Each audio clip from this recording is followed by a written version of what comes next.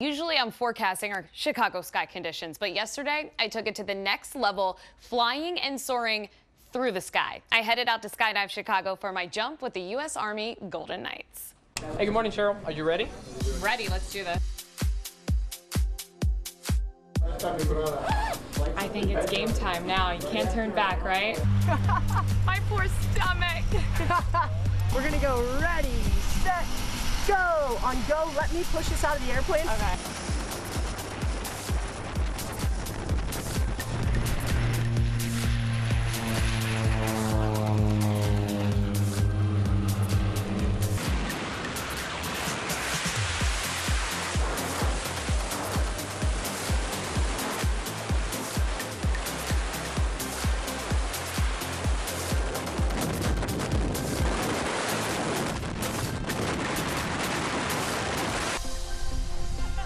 That was incredible. What do you think about that? Ready?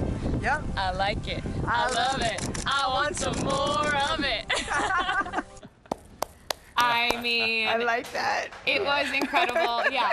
I like it. I love it. Oh, some Lots more, of it. I- My sergeant Dusty, as we were taking, as we were uh. skydiving down, we were singing songs, just taking in the view. It was absolutely incredible. We jumped out of that plane, 13,000 feet in the sky.